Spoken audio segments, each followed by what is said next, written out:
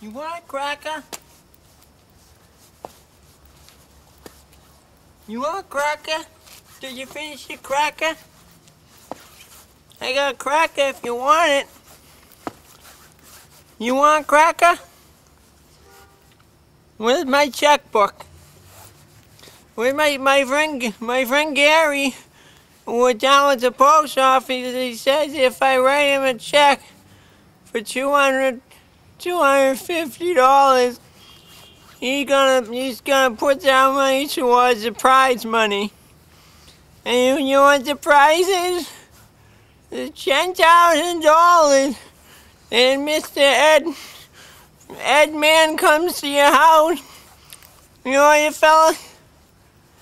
Hey Johnny! You know that fella comes to your house? I send you two hundred fifty dollars. You're gonna come to my house. I just need to write my friend Gary a check. Two hundred fifty dollars. And I got another friend over at the liquor store.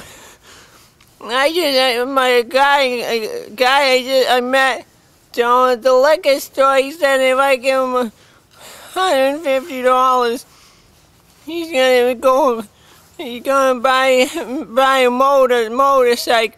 I used to ride a motorcycle in my day. You believe that? Where's my checkbook? Where's my checkbook?